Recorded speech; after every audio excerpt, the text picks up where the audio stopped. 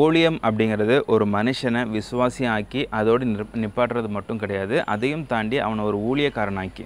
ஒரு மனுஷனை ஒரு விசுவாசியாக்கி அவனை ஒரு ஊழியக்காரனும் ஆக்கி அவனை வந்து தேசத்திற்கு அனுப்புறது தான் ஒரு ஊழியத்துடைய சக்ஸஸ் அப்படிங்கிறது வந்து எல்லாருமே இந்த நாட்களில் அறிஞ்ச ஒரு விஷயம்தான். ஆண்டவரும் வந்து சொல்லும்போது நீங்கள் வந்து சு புறப்பட்டு சகல ஜாதிகளையும் சீஷராக்குங்கள் அப்படின்ட்டு ஒரு வார்த்தை சொல்லியிருக்கிறாரு. ஸோ சீஷராக்குறது அப்படின்னாக்கே அவங்கள வந்து ஒரு ஊழியக்காரங்களாக்குங்க அப்படின்னு தான். ஸோ இன்றைக்கி தேதிக்கு நிறைய பேர் விசுவாசிகளாகவே இருந்துக்கிட்டு இருக்கிறாங்க.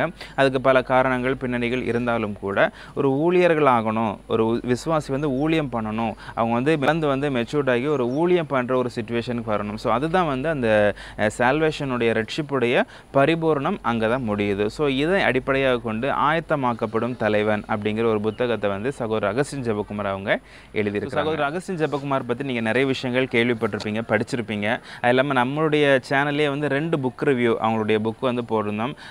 நீ நீ இல்லாவிடில் பார்ட் ஒன் பார்ட் டூ அந்த ரெண்டு புக்லேயுமே வந்து அவங்களுடைய பற்றி முழு ஹிஸ்ட்ரி வந்து போட்டிருக்கிறாங்க. அவங்க எப்படி வந்து பீகார் போனாங்க எப்படி ஊழியம் ஸ்டார்ட் பண்ணாங்க எப்படி பண்ணாங்க அப்படிங்கிற மொத்த அப்படிங்கிற மொத்த ஹிஸ்ட்ரியும் வந்து அவங்க அதில் போட்டிருக்கிறாங்க. ஸோ அதை படித்து பார்த்தாலே தெரியும் அவருடைய வாழ்க்கை வரலாறு என்ன அப்படின்ட்டு. ஸோ நல்ல ஒரு தியாகமுள்ள ஒரு ஊழியர். ஸோ அந்த ஊழியர் எழுதின இந்த புக்கு தான் ஆயத்தமாக்கப்படும் தலைவன். ஸோ இந்த புத்தகத்தில் சொல்லப்பட்டுகிற வார்த்தைகள் எல்லாமே வந்து சாமுவேல் ஒன்று சாமுவேல் அப்படிங்கிற அந்த புத்தகத்திலேருந்து எடுக்கப்பட்ட காரியங்கள் தான். ஸோ ஒன்று சாமுவேல் ரெண்டு சாமுவேல். இந்த புத்தகத்திலேருந்து ஒரு சில க ஒரு சில வேர்டெல்லாம் எடுத்து அதை வந்து எக்ஸ்பிளைன் பண்ணி ஒரு உருவாக்கப்படும் தலைவன் ஒரு ஒரு லீடர் ஒரு ஒரு ஊழியக்காரன் வந்து எப்படி இருக்கணும் அப்படிங்கிறது நிறைய விஷயங்கள் வந்து அழகாக வந்து சொல்லியிருக்கிறாங்க.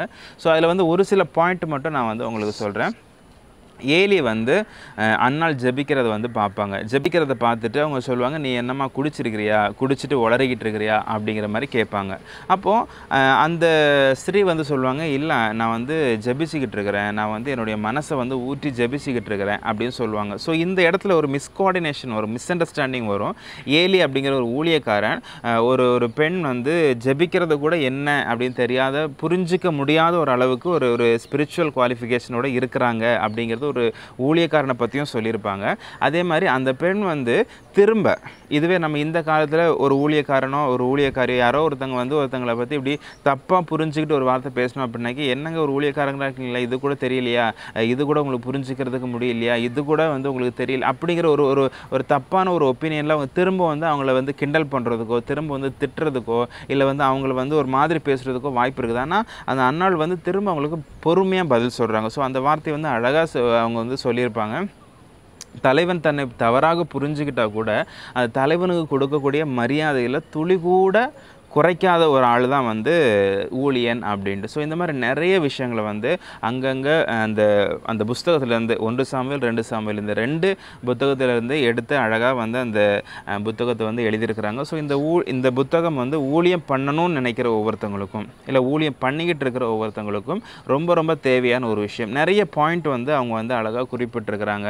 ஒரு ஊழியக்காரன் எப்படி இருக்கணும்? அவனுக்கு வந்து என்னென்ன கேரக்டர் இருக்கணும்? எந்த மாதிரியான குவாலிஃபிகேஷன் இருக்கணும்? அப்படின்ட்டு. அவங்க வந்து எப்போவுமே சொல்கிற ஒரு விஷயம் தான் திறந்த புத்தகமாக இருக்கிறது ஊழியனுக்கு வந்து அழகு அப்படின்ட்டு. அதே மாதிரி அவங்களுடைய ஜெம்ஸ் ஊழியத்துடைய அந்த இயர்லி அந்த டாக்குமெண்ட் அக்கௌண்ட்ஸ் எல்லாமே வந்து அவங்க வெப்சைட்லேயே வந்து ஓப்பனாக நாங்கள் கொடுத்துருக்குறோம். என்ன எவ்வளோ வரவு வருது எவ்வளோ செலவு பண்ணுறோம் அப்படிங்கிறத வெப்சைட்லேயே நாங்கள் ஓப்பனாக போட்டிருக்கிறோம். இதில் வந்து நாங்கள் யாருக்கிட்டையும் மறைக்கலை அப்படிங்கிறத வந்து தெளிவாக சொல்லியிருப்பாங்க. ஸோ இது என்ன அப்படின்னாக்கி ஓப்பனாக இருக்கிறது வந்து ரொம்ப நல்ல ஒரு விஷயம். இது ரீசெண்டாக கூட ஒரு சில இடங்களில் வந்து ஐடி ரைடு வந்து ரொம்ப வந்து பணம் மாட்டிக்கிச்சு அதில் வந்து பிரச்சனையாச்சு அப்படிங்கிற மாதிரிலாம் வந்து குறிப்பிட்டிருப்பாங்க. அது அதை வச்சு நிறைய பேர் என்கிட்டயே ஒருத்தவங்க ஃபோன் பண்ணி கேட்டிருந்தாங்க. இப்படி வந்து ஒருத்தங்க ஒரு ஊழியக்காரங்க இப்படி ஆயிடுச்சுங்க என்ன அப்படி அப்படிங்கிற மாதிரி கேட்டிருந்தாங்க. எனக்கு அது கொஞ்சம் கஷ்டமாக தான் இருந்துச்சு. திரும்ப பதில் சொல்கிறதுக்கு வார்த்தை கிடையாது. ஆனாலும் கூட இந்த மாதிரியான சிக்கல்கள் இல்லாமல் இருக்கணும் அப்படின்னாக்கி இந்த மாதிரி ஓப்பனாக இருந்துட்டாக்கே பெட்டராக இருக்கும் அப்படிங்கிற மாதிரிலாம் வந்து அவங்க சொல்லியிருந்தாங்க. உண்மையில் வந்து ரொம்ப அருமையான ஒரு புக்கு எல்லாருமே படிக்க வேண்டிய ஒரு புக்கு ஆயத்தமாக்கப்படும் தலைவன் நிறைய புக் ஷாப்லலாம் கிடைக்குது. இல்லை நீங்கள் வந்து டைரெக்டாக அவருடைய பிரான்ச்சை வந்து நீங்கள் காண்டாக்ட் பண்ணால் கூட நீங்கள் வந்து நெட்லேயே வந்து போட்டு பார்த்தா தெரியும் ஜெம்ஸ் ஊழியம் அப்படின்னு நீங்கள் போட்டு நெட்லேயே வந்து அவங்களுடைய காண்டாக்ட் நம்பர் எடுத்து நீங்கள் அவங்ககிட்ட டேரெக்டாக ஆர்டர் பண்ணிக்கலாம். சரி எங்கேயுமே கிடைக்கலங்க. எனக்கு இந்த புக்கை படிக்கணும்னு ஆசையாக இருக்குது அப்படின்னு இருந்தீங்கன்னாக்கி நீங்கள் எங்களையும் காண்டாக்ட் பண்ணலாம். நாங்களும் உங்கள் புக்கை வந்து இதை பாதி விலைக்கு ஆல்ரெடி நாங்கள் சொல்லியிருந்த மாதிரி பாதி விலைக்கு உங்களுக்கு அனுப்பி தர்றதுக்கு ரெடியாக இருக்கிறோம்.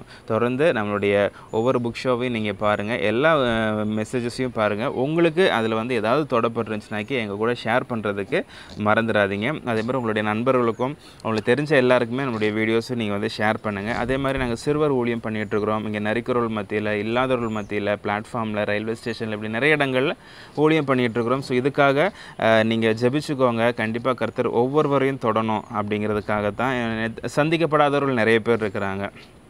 நிறைய பேர் வந்து கைவிடப்பட்டவர்களாக இருக்கிறாங்க. அவங்கள போய் பார்க்குறதுக்கு ஆள் கிடையாது. திருநங்கைகளாக இருக்கட்டும் இல்லை பஸ் ஸ்டாண்டில் ரயில்வே ஸ்டேஷன் இப்படி தள்ளப்பட்டவர்களாகட்டும் இவங்கெல்லாம் போய் பேசுகிறதுக்கு ஆட்கள் கிடையாது. பேசுனாக்கி அவங்க வந்து வர்றதுக்கு ரெடியாக தான் இருக்கிறாங்க நிறைய பேர். பேசுனாக்கி அவங்களுக்குள்ள ஒரு மாற்றம் ஏற்படுது. ஆனால் அதெல்லாம் செய்கிறதுக்கு ஆட்கள் கிடையாது. ஸோ அதை வந்து நான் கண்டிப்பாக நம்ம செய்யணும் அப்படிங்கிறதுல நாங்கள் வந்து அதை செஞ்சுக்கிட்டு இருக்கிறோம். தொடர்ந்து இதுக்காக ஜெபிச்சுக்கோங்க. கர்த்தர் உங்களையும் அதிகமாக ஆசிர்வதிப்பாராக. காட் பிளஸ் விண்ணை விட்டு என் கண்ணை அகற்றிடேன். விண்ணை விட்டு என் கண்ணை அகற்றிடேன். மண்ணின் வாழ்வையும் குப்பையா எண்ணுகிறேன். மண்ணின் வாழ்வையும் குப்பையா எண்ணு